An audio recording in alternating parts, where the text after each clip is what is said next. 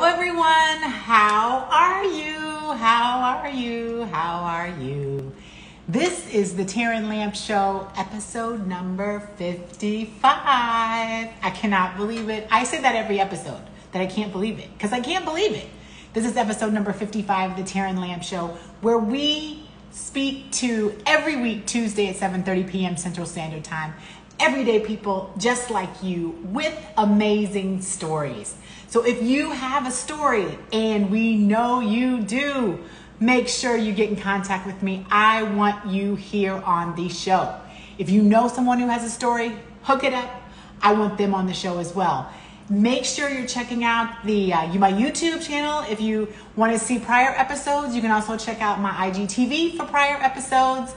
And everybody that comes on the show also gets a link and a copy of the, video as well. So make sure you're checking out uh, everyone that comes on the show, checking out their Insta, and make sure you're sharing these videos, inspirational videos, with those around you. It is so, I'm in my kitchen and it is like, ooh, heat. But you know what? I'm in Chicago, so I'm not going to complain about the heat.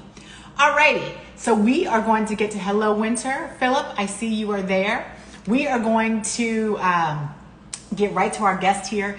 I can't wait to see him. I haven't seen him in so long. I would really love to see him in real life. So let's just see. Philip. Philip, Philip, Philip, Philip, Philip, Philip. Hello. Thank you, everybody, for joining us. Thank you for joining us, Philip. Let's see. What happened, Philip? Where'd you go? Where did you go? Where did you go? Let's try it again. Send requests. Send request. Philip, I sent you a request. Let me know, let me know. Let me know. Um, let's see. Yeah. Hey, ah!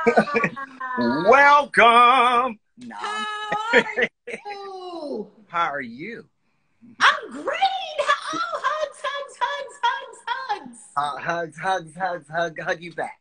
I was I can't wait to see you in real life. Hello. it's been such a long time. It's been a minute, more like an hour, right? Right. A couple hours. a couple of hours, right?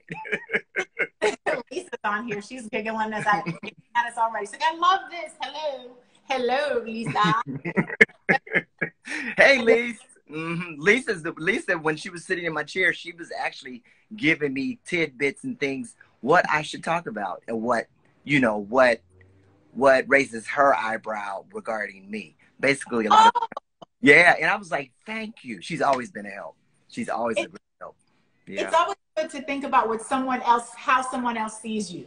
You know, uh, uh, like how someone else sees your greatness. Okay, I, I, I received that. Yes, I embrace that. Yeah. I, I give big hugs to that. Yeah. Great. Great. so I was telling everybody, I, mean, I, I promise you, I'm like not having a hot flash, but it is so hot in my kitchen right now. I always do the show from my kitchen. It's like on fire. But anywho, that's another story. Well, we're um, out we're out here in sunny California, and it's and it's hot too. Mm-hmm. So yeah, we're we're like I'm not gonna complain because we're always so cold. So now I'm just oh. trying to all in. We're always like, okay, okay, okay. okay. I start a half an hour, you know, goes by fast, especially yeah. chatting it up. Mm-hmm. So I want everybody to, um, to hear a little bit. I know you have such an amazing journey. So, you know, and, and this COVID situation kind of took it to leaps and bounds, if you will. Yes, I so agree. Yes. You could just yes. kind of share with everyone, you, you, know, your journey, a little bit about where you got where you're at, and, and just start off with your journey. What, oh, know. okay. Well, shucks um, getting in trouble by drawing and sketching on my mom's walls, hallway walls as a kid. Awesome. Mm-hmm. awesome. So, so after that, she ended up buying me scratch paper or sketch paper, sketch pads and the such.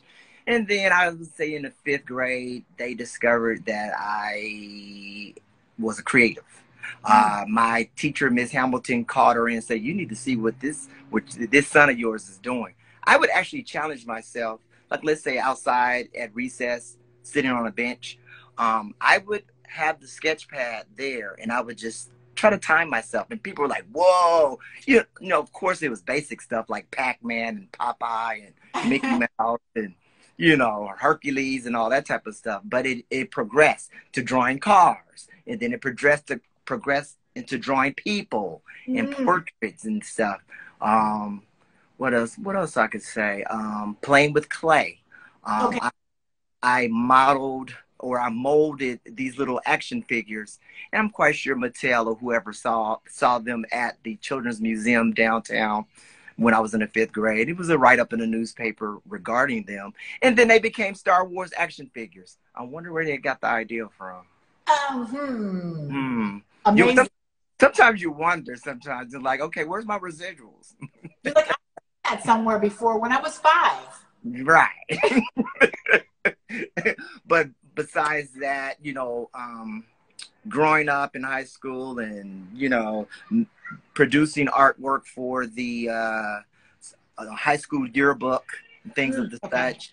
Um, what else? Uh, you know, now it's time to leave school. Okay, I'm going to work for Walt Disney. But guess what?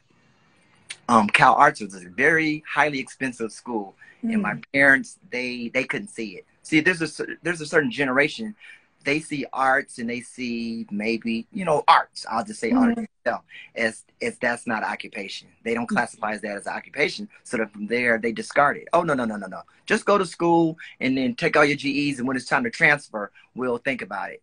When Okay. that time when that time came it became it became ooh they dropped the ball so i was mad but uh overall i got some advice from my father. He says, "Well, you know, it's ex- it's expensive, so let's see if you could. You know, you used to cut everyone's hair on your on your street, on your block.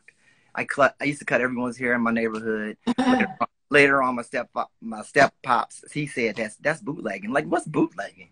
And then he told me bootlegging. You know, or he he found something regarding bootlegging. I said, but these people they want a haircut from me, and I read about it. And upon bootlegging, if you're found out or caught, it sometimes it helps, not helps, it enables you for getting your license um, completely. Uh, Okay. You know, it, it can become quite troublesome. So I'm like, you know, let's just let's do the right thing. Let's just go on to school, beauty school, and I did. It's the best thing I could have. It's the best thing I could have done because from there, um, I got introduced to this place called Simply Raw. Simply Raw is our version of Vidal Sassoon out here in LA. Ask anyone that's, let's say, under 35. No, not under, over. Mhm. Anyone, anyone under 35 may not know of it. Mhm. Um, oh yes, oh my gosh, oh yes, you needed to, you needed, you needed, you know, reservations to, to have that. But no, we had our fair share of celebrities that come through. Denzel, uh, Luther. Um, during my time in the '90s, I was, I was blessed to take care of Tyra Banks during during that time, the Tyra Bank years when she was modeling, and then get to go on the set of uh, Higher Learning you know, see another old classmate of mine, Regina King, you know, um, it's a trip. And initially going to beauty school was for me to pay my own way Ah, to art school, as well as some other things I used to do. I used to do extra work too, um, on the set of, uh, what is it, A Different World and some other, other things. But as time, as time went on, I would do one client, five or six come back. I would do those five or six, now 10 or 12, 13, Yeah. 14, 15. It just piled. And then I realized, you know what? This is my calling. Oh, my artwork in the background, yes, I was gonna say. I was gonna say, do you want to show us anything? It's amazing. my artwork in the background. Let's do, let's flip this. My artwork in the background, pretty much, Amazing. It's it's my quiet time at the house after I listen. Yeah. After I finish listening, playing uh, Iyanla Vanzant, "Fix My Life," and Dr. Phil behind the chair, as well as beautifying people. I found myself to to this. This is my this, this, was my way of escape, amazing. getting away from you know what people have told me. Sometimes I help change people's lives by just making them look good. But Yeah. overall, sometimes you need to grab back and hold something for yourself. And oh, let me show you a couple of oil paintings. Like I said, I always challenge. Wow. I always challenge myself doing Wow. okay an oil. Dorothy Dandridge or Halle Berry is Dorothy. Dandridge. Wow. That's um, that's wow. That's Diana Ross. And Yeah. then the, And then this one, if you don't know her, then I don't know what I can Wow. say. yeah. That's amazing. Those are Yeah. beautiful. Yeah. So I find myself doing the abstract as well. Abstract manipulation of colors. Mhm. Check this out. Mm. Yeah. Are beautiful. Yeah. You just play with colors and then you just get to playing with them on a spatula. And there you go. So that's But what I you find- in your you say, you know, just to kind of give back to yourself. Yeah, yeah. You give back to yourself or take back a little piece of you because you're giving all this art away on Right. people people hairstyles or um, God has granted me wisdom to help give advice to people and help fix Mhm. whatever dilemma they're going through. But overall, sometimes you need to clear your headspace. Right. And that's how, that's how I clear my headspace with a little acrylic or oil. And um, Is that something you do every day? Um, I could do it now every day. During this pandemic, let me tell you, I know the pandemic has been a stressful time as well as unfortunate times for people, but the pandemic has actually been a blessing for me. Because just imagine yourself for 20 something years driving out of your backyard, your driveway, going to work all the time. Then you come home at 9:30 at night. Now, this is when I get to play with this Okay. you know now it's now it's time to turn in to get back to going back to work the next day so you find Move and and Lisa, they both say Janet. Janet. okay all right thank you very much thank you very right. much yes, Philip but oh, in the background. well i'm gonna finish this one uh what's his name Pac Tupac and then i'm gonna put all his poetry and his words in the background of that painting uh that's lenny that's lenny before the uh the big chop when lisa chopped off his his, his locks He's Yeah, sexy yeah, with, with the locks, without the locks. Uh, you know.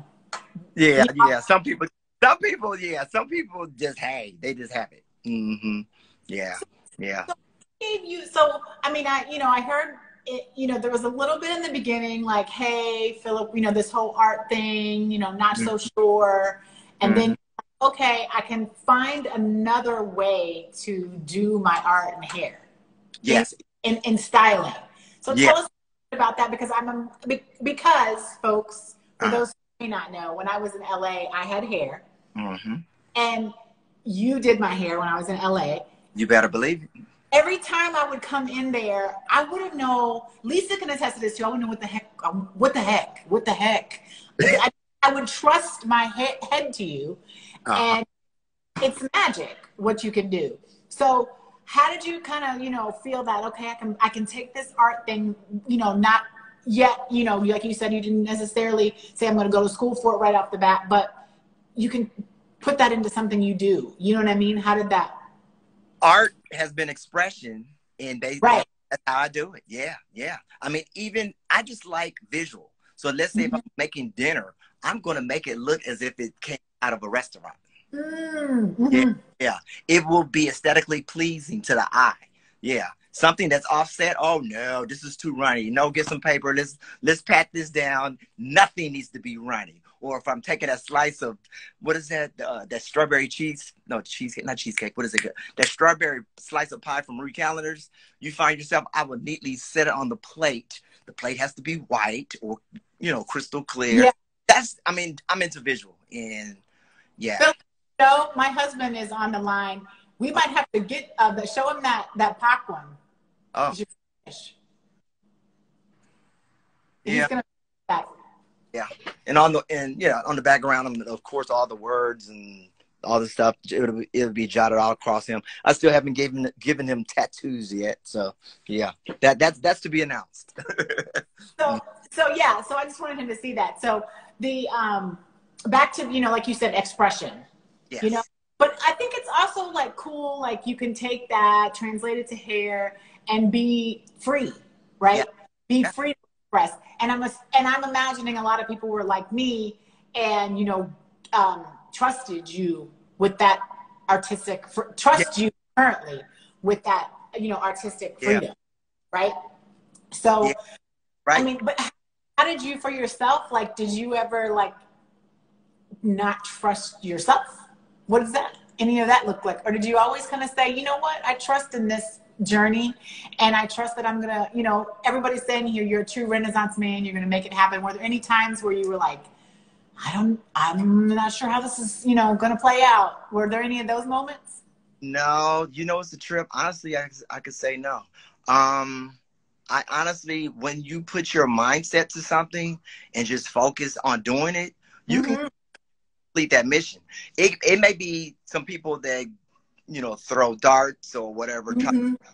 trip you, but overall you'll get there. You'll get there. Everything that I set out to do, I end up doing pretty much. I said I want okay, like I said, doing hair. I worked at one of the best salons, and I said I want to be so assured of mastering haircut and hair coloring. If Michael Jackson walked in the door I would be satisfied or confident enough to take care of him. But guess what? Michael Jackson had his own stylist, but yet had he been, I would have been confident or comfortable enough. But guess mm-hmm. what? People like Tyra Banks, people like Vesta Williams. I was blessed enough to even work on a janitor at the MT no V VH1 Awards. Okay. Um, um, years ago. And basically your confidence level, you just build up your confidence mm-hmm. level. I'm always taking classes in something. Sometimes people feel that they learn enough. No, when you ah. stop learning, you you stop growing. Yeah. Or if you think if or if you think you know everything, then guess what? You can't receive or retain or yeah, learn new things. No. Well, you can't you can't grow, right? You can't grow. You can't grow. There's you always there's always room for growth. During this, like I said, during this pandemic, it ended up becoming a blessing. Like I said, backing out of the driveway, going to work, coming back home at 9 30, 10 o'clock, because I probably had 15 or 20 people to do. Yeah. I, I had assistants though, but you always need help. My assistants would tell me or tell the client, just let him do what he needs to do. It comes out better that way. Yeah, that's what I said. That's what I was like. I know, I mean, I remember trusting you being like going in there and I probably, you know, talking through the whole thing, not knowing what's going on in the back and then flat out. Yeah. Check, this, check this out. I was looking at my one of my old screens, and look what I ran across. That's ah, there I am. That with all that hair. Look mm. at all of that hair, and you gotta send me that picture. Oh, I absolutely will. Yeah. I had all that hair. Remember yeah. you said forever. There's another one. Yeah, down your back. You you were going somewhere where we had to give you updo. So. uh when I think I was going to an event, I feel like I was going to a, what event? I don't know, some big event probably in Beverly Hills, I think. Because I was going to dress up formal, right? It was a formal event. Yes, yes. You were going somewhere um, where, where you needed to sparkle. yeah. You see, you made me sparkle. That's so funny. You brought it way back. Yep, back in the day. Yeah. What um you know, what advice would you give someone maybe who, you know, you again, you've blended this um, artistry with your, you know, current what, what you do currently, but you still have this give back to yourself. I like that saying that you got to give back to yourself and you got to make take time for your, you know, take back your time for yourself. I like that saying. But what advice would you give someone who's maybe like thinking like this, you know, maybe this art thing is it for me? Can I do it? How can I blend it into something that I'm, you know, that I also like? Is there any sort of advice you would give to someone who, you know, they may have the same thing, right? They may have parents say, this art thing is, you know, I, I don't know. You got to go to school and get this and that because you've turned out, turned it to be, you know, your, it's, it's your, it's your everything. You know, what your, your studio is your baby. It really is. Sometimes people will crush your dreams because basically, like I said, when I got out of high school, they were like, no, artists only make money when yeah they only make money when they're dead, six feet under. I'm like, uh, I'm up above ground, so I need to figure it out. And yeah, I figured it out. I express my art through hair. I express my art. I've taken fashion design courses. Um, uh, uh, shucks, uh, create T-shirt lines. Uh, you know, put your artwork on there. There's a there's a lot of different avenues where you can go now. Uh, right now, I'm trying to find a place that I could put my artwork on China you know, dinnerware. Mm-hmm. Uh huh. That's yeah. what I was ask you. I was going to ask you what's one thing you'd still like to do. Um, is it peacock balloons, Phil? I'm so proud of you, Heart Tish. Oh, peacock balloons is a friend of mine. She creates these beautiful balloons. Yes, yes. I got a cage of balloons. Yeah, she just she just gave them to me. Well, not well, they were a gift. They were given to me on my 50th birthday. Mm-hmm. I'll have I'll have to see them when we're finished. Yeah. Um. I forgot. What was my question? What was my question? And you can't party, so I just popped the bottle in here. I'm like, I, I just asked you a question. I was so like so proud. She was like so proud of you, and I was like, what What did I say? Um. And I asked you about advice regarding And- different art that a person can go through. What's the next thing? The next thing. That's what it was. What would you like to do? What would you still like to do? Next thing, let's see. The next thing is pretty much. Well, there's a couple of next things. This mine don't turn off. This mine, oh god, oh gosh, this mine don't turn off. Um, I'm gonna write a book regarding my my simply raw years, and and it, it will intertwine with different clients and different things. Yeah, it may be, it may be, hopefully a screenplay. Mm-hmm. Oh, nice. What else? Uh, continue working back line that I Mhm. sketched and conjured up. But overall, let's say long term goals, it's a trip. I put my mind to doing something. Like I said, the pandemic ended up becoming a blessing because I ended up creating clients. They couldn't get their hair done for three months. So I started making wigs in this bad boy. I said, just meet me, meet me on the driveway, Zelle or Cash App or drive. my cash, and, and it's all good. Yeah. You should say you called it, you should have should have called it your runway. Like you drive. You said get me on the runway. Lisa wants you to talk about the YouTube channel. Oh yeah. Oh, thank you, Lisa. Thank you. The YouTube channel. Okay, I said to myself, usually I would be in the salon and people would ask me questions regarding what is the best thing to wear to a destination wedding. I'm like, uh, where are you going? That that's where it depends upon where you're going. Uh, or what's the best wine? Or what's the best red um, wine? You know, and I, I I like that kind of stuff. Um, different cohibas. What's the smoke? Or why? Why is it, it? Why is it chilled on ice? I'm just, I'm just inquisitive about that. So I'm creating a YouTube channel regarding those things. Lifestyle, Renaissance man that I am. Why not? You know, hey, let me show you. We're about to go in this Cohiba bar and and go. Oh, hey, we're about to go in this tequila bar. Or hey, this restaurant. And what prompted them or inspired them pretty much almost become someone like you. And, uh, an interviewer. Uh, Mhm. interviewing people, what moved them. Uh-huh. And then on of course on my channel, I'm gonna show you three different levels of uh highlighting or or the, the fantastic bob or how to sleep on your hair while you're away on a trip. Yeah. I think those things are so useful because I was just thinking, like, I mean, I'm sure there's way more advanced people than myself, but like, I would listen to it because I need to know, you know, just different things. Like, for instance, like right now, I'm like, okay, we talked about this. I kind of want to color my hair, but should I, you know, cut it, cut it to the point of, you know, like I normally buzz cut it and then color it, or should I color it this length? Or what should I, you know, like those are the things like, what should I do? Or what color would look good on me, right? Because now I, I don't know if I have any sun on my face, but you know, in the winter, I don't know about the color in the winter versus the color in the summer versus the, you know, so your, your YouTube channel would help somebody like me, like figure out what the heck, because I'm always asking what the heck about Those Yeah. questions or like what I wear. So should I wear long earrings if I'm going to this event, or should I wear these little studs? Or you know, what color should I should the earrings be if I'm wearing this and that and the other, and my hair is this, that, and the other. So I think those things would be that would be a, a great way for people to kind of learn and you just go on your YouTube channel and say when when would it when did he discuss this right? Let me just look at the topic and and listen to you talk. what you're saying is needed, right? Yeah. Yeah, that's what I that's what I aspire to do next. Yeah, there's a lot of times that people don't know, like to say etiquette wise. You know, when you're going to a dinner party at someone's house, it is very fashionable to bring something. hmm Wine, if they don't drink wine, how about a coffee table book? hmm Oh. That they can read, or a candle. You know, there's some things that people just don't know. You don't come from. Well, let me say, I came from a house where, pretty much, I grew up in a house with Donna Ross slash Claire Huxtable, and So basically, get your arms off, get your elbows and your arms off the table. right. Dining. um, took place in the house. You know, ah, gosh, it, it, it was a blessing. It, I loved it. I love it. So that's how I ended up knowing. Yeah, I think that would be a great, a great. I, Lisa, thank you for reminding him and us. thank you, Lisa.